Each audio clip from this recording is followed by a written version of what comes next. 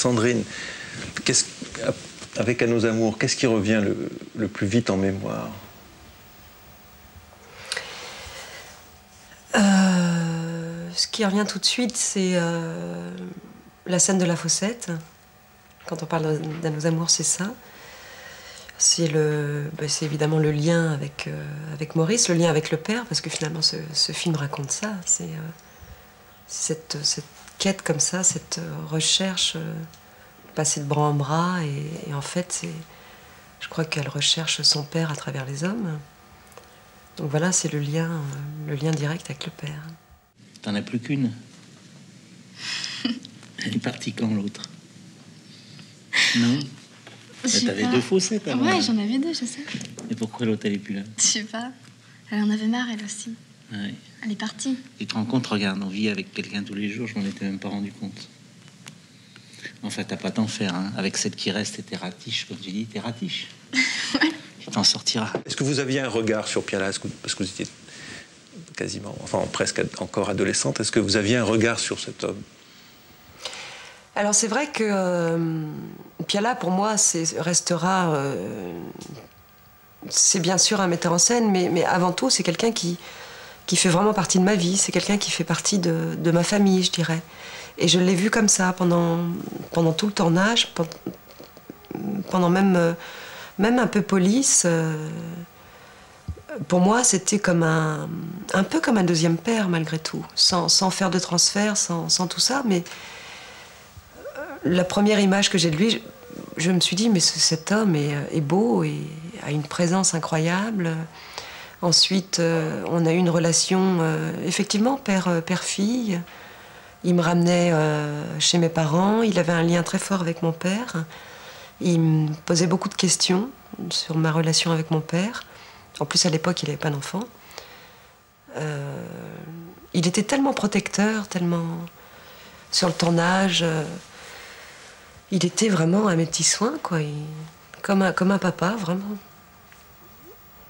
Donc il m'a il formé, il m'a vraiment formé dans ce métier, mais comme un comme on forme un enfant euh, à la vie, quoi. Et vous saviez qu'il allait être votre partenaire aussi Ou, c'est quelque chose qui est arrivé en, cours de route? C'est arrivé en cours de route, parce qu'au départ, le père euh, mourait. Il prenait tellement goût à jouer qu'il ne savait pas s'il allait le faire mourir ou pas. Donc il était encore dans ce... Il ne savait pas. Donc il a demandé à Besnéard de dire, euh, au lieu de dire papa est mort, de dire papa est parti. Et, euh, moi, je mâchais un chewing-gum juste avant la prise. Il m'a dit Garde ce chewing-gum, tu te retourneras, tu feras une bulle. Et. Euh, parce qu'il voulait pas. Il, voulait que ça reste ouvert. Et il revient dans le film comme un revenant d'ailleurs. La scène du repas, la, fameuse scène du repas, il revient comme un fantôme, enfin comme celui qu'on n'attend pas, celui qu'on ne veut même plus revoir à la limite. Absolument, ça c'était pas prévu non plus. Euh, on a commencé à tourner, il y avait deux portes. Il est passé de l'autre côté, euh, personne n'a rien vu, c'est assez étonnant. il est allé enfiler un imperméable et il est repassé de l'autre côté. Et euh, la caméra tournait toujours. on s'est dit, bon, cela dit, on était un peu habitué à ce que ce qu'il y ait des petites surprises comme ça. Mais là, c'est vrai que c'était un peu particulier. Et tout le monde a joué le jeu, quoi. On savait tous qu'il fallait continuer. en même temps, on savait pas très bien sur quoi, parce qu'on n'avait pas de, on n'avait pas vraiment de texte sur, sur lequel s'appuyer, quoi. Donc c'était lui le, meneur, quoi. Et il fallait faire en, en fonction de lui. C'est le cas des grands pieds. Oh. Tu l'as fait celui-là. Si tu lui racontes, pas lui foutre la paix. Des conneries comme il T'as pas changé les serrures Je sais. Heureusement, sans ça, j'aurais été obligé de faire venir le serrurier entrer là Tiens, voilà la. Passer la salle à manger. Bonjour. Ah, excusez-moi, je sais pas. Il y avait tout ce beau monde.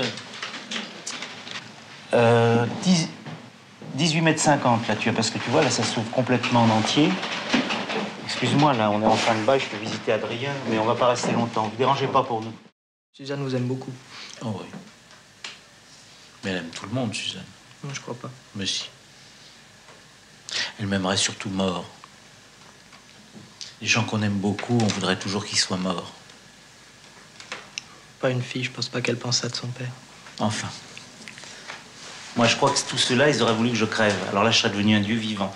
J'ai compris. Si j'étais mort. Arrêtez, merde Tout était très appuyé, quoi, sur ce qu'on était nous, nous euh, personnellement. Donc bon. Euh, et puis la gifle d'Evelyn Kerr, ça l'a pas mal refroidi, ça, parce que ça non plus, c'était pas prévu.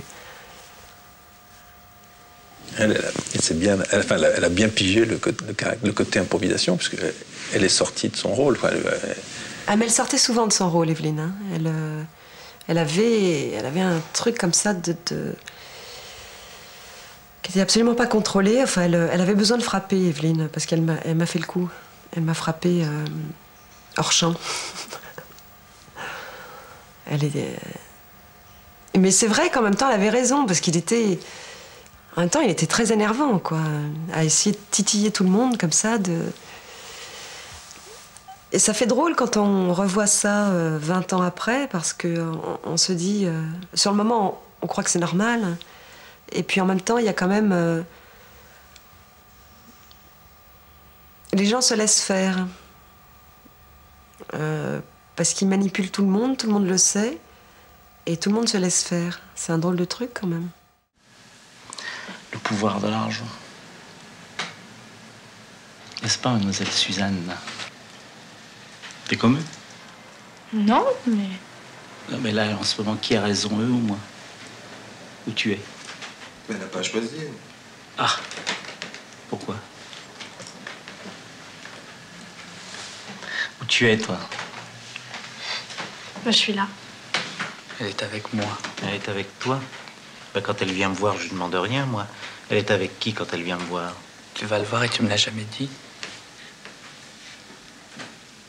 T'es là un jour, hein? Je suis avec personne, je suis avec moi-même. Enfin, je suis là quand même. Est-ce que vous aviez le sentiment que Piala cherchait en, tournant, que, le, film se cherchait en se faisant, enfin qu'il avait pas, il avait besoin comme ça de, temps pour trouver la scène à chaque fois? Ou est-ce que ça ressemblait à un film traditionnel? Ah non, ça ressemblait pas à, un film traditionnel. Euh, on ne savait pas toujours ce qu'on allait faire. Euh, euh, alors ça dépendait des fois. Des fois, on tournait ce qui était écrit. Ça allait même assez vite parce qu'en plus, il faisait des plans séquences. Donc, toutes les scènes de conflit avec, avec la mère, avec le frère, tout ça, par contre, était très écrit. donc ça se tournait assez facilement, assez vite.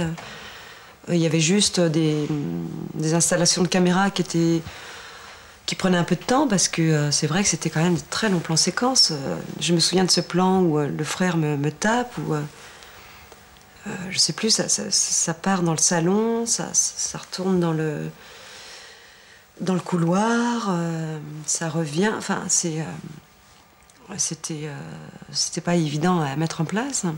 Mais une fois que c'était parti, hop, ça se faisait très et puis c'était des scènes très physiques aussi, donc, euh, donc on faisait trois, quatre prises et puis c'était bon, on donnait tellement. Euh. mais, le reste, euh, il se nourrissait de. Il s'imprégnait de tout ce qu'on pouvait lui raconter. Par exemple, la fin du film, la toute fin, c'est moi, Sandrine, qui partais à San Diego avec mon fiancé. Et, c'est lui qui m'a payé le voyage. Euh, il était euh, tellement content que je puisse partir à l'étranger. C'était mon premier voyage. Puis en même temps, il était trouvait ça hallucinant d'aller à San Diego. Ce que je comprends, parce que San Diego, il faut vraiment avoir envie d'y aller. Euh, et, donc voilà, le bus, cette superbe scène, tu verras les baleines, tout ça. Il me parlait à moi, à moi, Sandrine. Moi, quand j'étais jeune, pour aller à Trouville, c'était toute une affaire. On allait à la mer qu'une fois par an, on en rêvait toute l'année. Maintenant, toi, tu vas comme ça, le Pacifique. C'est quelque chose. Hein. Adrien m'a dit que l'hiver, au mois de janvier, on voit passer des bandes baleines de la côte. On les voit comme ça, à vue d'œil. Ça doit être super. San Diego, c'est chouette aussi, il paraît. Mm. C'est le premier port américain de guerre. Il y en a des marins là. Tu vas en voir des uniformes. Toi qui aimes ça. Tu pars avec qui? Avec Michel. Ah, celui qui a un grand nez? Ouais.